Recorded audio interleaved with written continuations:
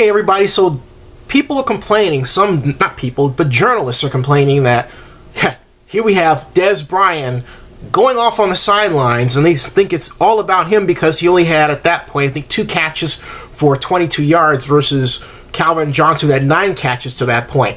But it wasn't that. As Tony Romo later said, he, he talks about just getting your head in the game, firing people up, certain decisions, decisions, decisions that are made. Problem is that we have a primarily white journalist group, I'm just being really rawly honest, that thinks that when a black receiver, the you know slave, if you will, that's playing uh, for the master, who's the white coach, complains that that person is you know acting out of their uh, space or out of their place, and they should there and this all about them. How many times have you heard that? Right? It, that's not the case here.